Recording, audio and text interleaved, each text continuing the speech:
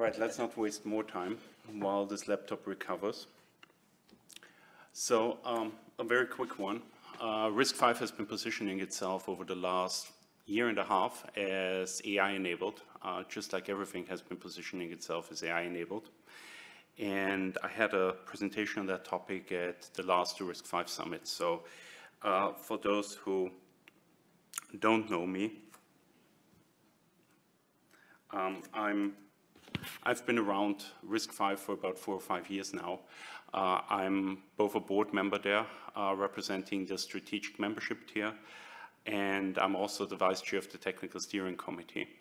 And in that role have been driving our matrix extensions for the last year or so. And the goal of RISC-V really is to, um, to fill one big gap here that uh, is related to vendor lock-in on AI and ML. So RISC-V is really differentiated through the fact that it's being an open standard, uh, royalty-free to adopt, uh, free to differentiate on your own chip implementations, uh, and sharing one common underpinning ecosystem in terms of software. And that allows domain-specific customization.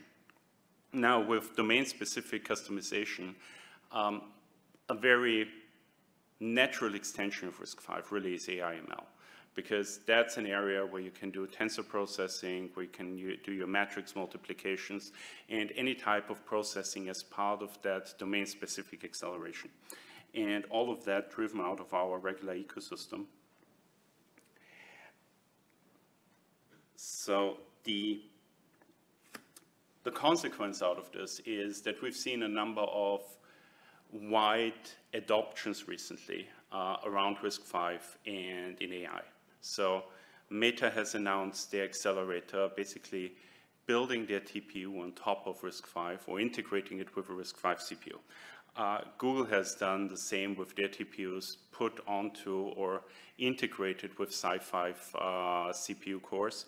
And similarly, uh, Stream Computing, a Chinese vendor that is trying to compete with NVIDIA in the, the Chinese market, is doing exactly the same. They are taking RISC-V cores, they are taking their own matrix acceleration units and TPUs and putting that onto AI accelerator cards. So what we're seeing is uh, a common picture emerging where RISC-V is a stable base ISA in order to put the domain-specific acceleration functionality that you need for AI on top. And you're just getting your 64-bit ISA, you get your basic instructions out of it.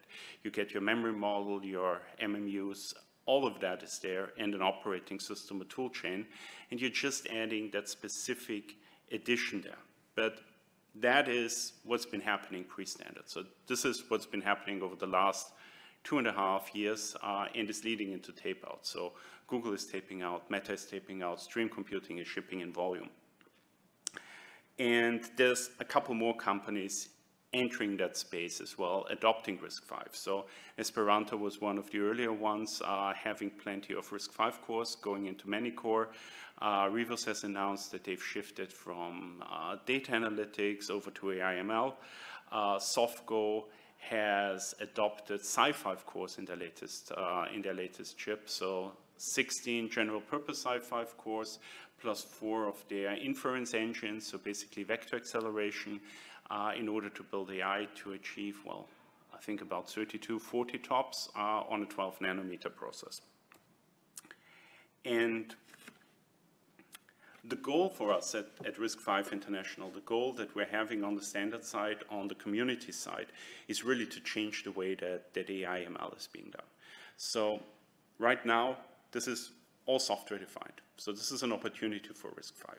We have the tool chains, we have MLIR, we can compile down to whatever architecture we have and whatever chips.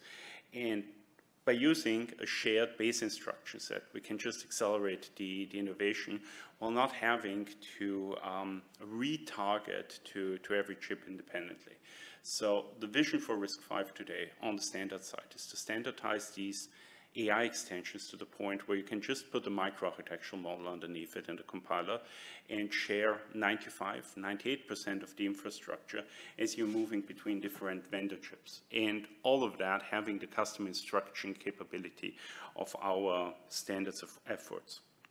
So where that leaves us is really two different standards being developed. Um, this may sound somewhat crazy because ARM has a single matrix extension, uh, Intel has a single matrix extension, but RISC-V has decided to go with two different ones. And we're trying to bridge some of the fragmentation that would arise from that on the software side by having common performance primitives targeting both. And the history of the two is really we have the integrated matrix extension. That means we leverage what we have in vectors, we enhance that, don't add any new microarchitectural state, and get a times two, two times four benefit. Um, the target for that is clearly people that already have IP cores and want to move forward leveraging those and keeping those alive. The other side, and that's the more interesting one, is the attached matrix extension. Consider this an accelerator core on the chip.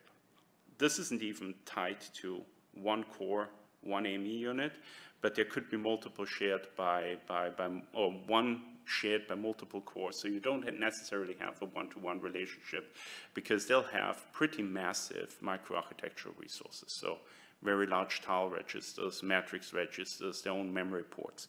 And that one is targeting AIML on the data center, uh, high performance inference on the, on the network edge, and HPC. So this is for people that are doing something new around AIML acceleration, building on RISC-V, and not those that just want to augment the core with a little bit of matrix capabilities as with IME.